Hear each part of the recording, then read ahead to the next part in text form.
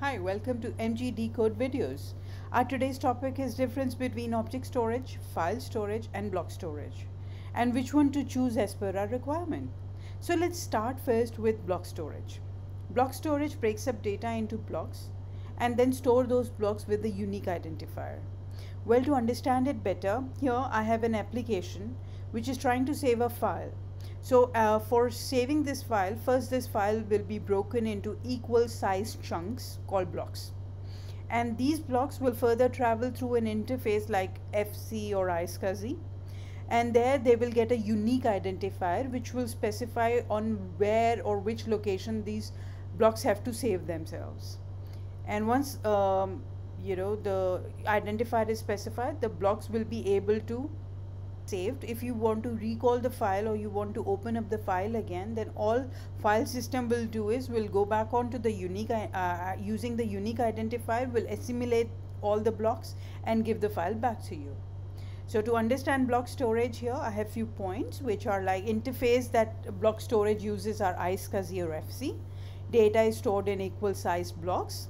Works well with IO intensive application because we are directly dealing with blocks on the drive so it becomes perfect for um, situations where you need a very high transactional databases or virtual volumes. Usually accessed as mounted drives no metadata and limited search capabilities.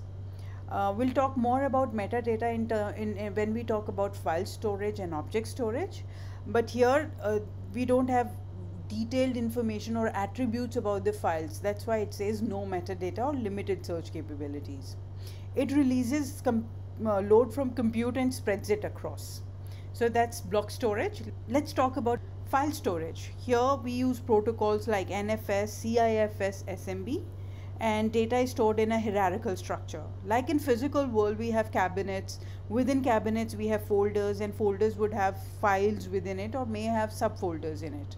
Similarly, the file storage kind of uses the same structure, hierarchical structure and store the data in the similar format. Files are stored in one location as one entity and not broken in blocks. Like we just saw that a file was broken into the blocks and the blocks were getting saved onto the drive. Here the file directly as a whole goes on goes and saves uh, onto the drive which would mean if I need to call back or recall my file uh, I can specify certain attributes to the file. Attributes like who created it, when was it created, when was it last modified. So these kind of a thing uh, can be specified and those attributes makes it very initial or the limited level of metadata in file storage. Files, documents are shared as per authorization and authentication. We also specify that who all would be able to access those files to which level they can access it and uh, and to top it all is uh, who all can be able to see those files or accessed via mount points users um, limited metadata with attributes like time date size and when file was accessed and created and etc so here um, we had only limited metadata but if we go on to the next storage which is object storage. Here we'll have a comprehensive metadata. We'll, we'll talk about it. Let's start with the definition first and then we'll see how it really works. Object storage. Object storage stores data as objects with metadata and global unique identifier. To understand it better, uh, that in block storage we created certain blocks first and then so save those blocks. In file storage we were saving the file as a whole here in object storage, the entire object first gets stored and with that object, there are globally unique identifiers are attached whenever you're saving the objects and with global unique identifier, there is a metadata also gets attached. To understand it better, I have few files here that needs to be saved as object storage. So what it will do is it'll attach metadata and unique ID to it this metadata helps in search capability because it helps in indexing the file better. So access objects using URL while following object security using key values.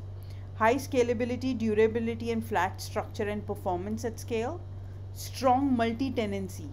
In objects you just create one object for one user and another object for another user and you can specify there are policies that you can attach to it.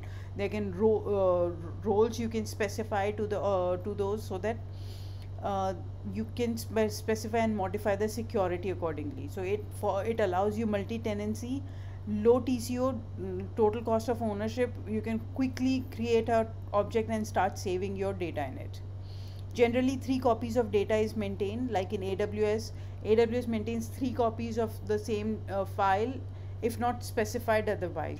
Objects uses detailed metadata as we just spoke about that there is a detailed metadata specified with objects and maintain version of the objects. Also the audit trail is possible if required. So these are few add-on feature uh, that that are much more easy and uh, easier to start or configure also highly cost efficient and perfect for unstructured data storage. Protocols here that are used are http dns tcp ip object storage enables faster retrieval of data helping organization accelerate time to insight and it is accessible globally via any devices or iot sensors. So that's object storage for you. I have also mentioned some of the companies uh, that are offering object storage the leaders of object storage. Uh, these are just some of them, there are many more. That's all. So today's topic was uh, to talk about different types of storage in terms of the block storage, file storage and object storage, how they store the data, what is the basic difference between the three.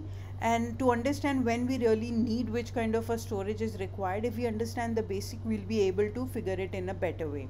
So uh, please wait for my next video which will which will talk about uh, the aws storage.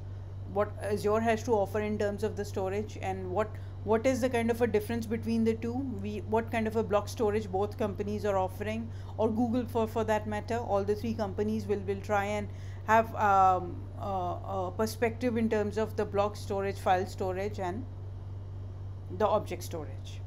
Well, until then, thank you for watching. Please don't forget to subscribe, like, and share. Thank you.